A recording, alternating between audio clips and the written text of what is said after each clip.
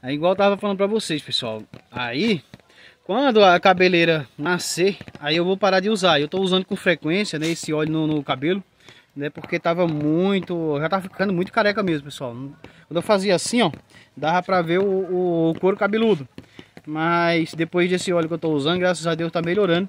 E eu tô usando com frequência. Quando nascer, o cabelo nascer direitinho, bonitinho, Aí eu vou estar usando pelo menos uma vez por semana. Mas por enquanto eu estou usando quase todos os dias, tá pessoal?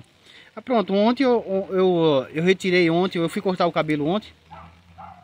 Deixa eu ver qual foi o horário que eu tirei. Eu não coloquei quando eu cheguei em casa, mas quando eu chegar em casa agora, quando eu for para casa, eu vou estar colocando novamente, tá? Para estar tá nascendo aí os cabelos novamente.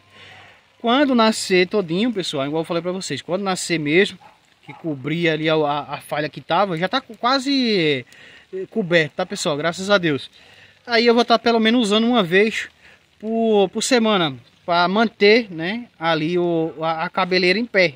Porque senão, pessoal, vai, eu vou terminar ficando careca antes da, da idade. Mas acho que não tem nem idade, né, pessoal, para ficar careca. Eu acho que vai de cada um, né? Vai de cada um, de cada uma pessoa. Eu, minha família, né, a família do meu pai é tudo cabeludo, parece mais um urso, né? Ele, todos eles, meus tios. Então, pai, meu pai também era cabeludo, tá? Então não sei da onde eu tô ficando careca.